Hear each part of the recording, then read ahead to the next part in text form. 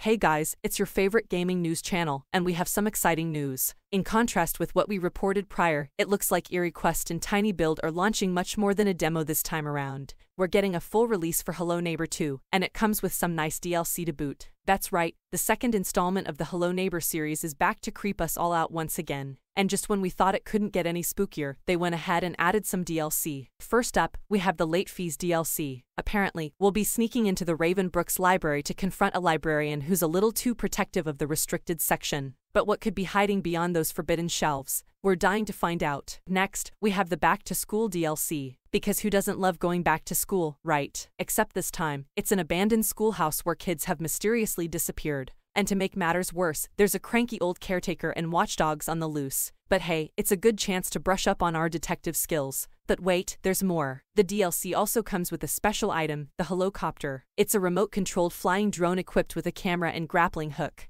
perfect for anyone looking to uncover the secrets of Raven Brooks, or any other strange town for that matter. So there you have it, guys. Hello Neighbor 2 is out now on Xbox One, Xbox Series X, PS4, PS5, and PC via Steam. Get ready to be spooked and excited all at the same time. And as always, stay tuned for more gaming news and updates from your favorite channel. Thanks for watching.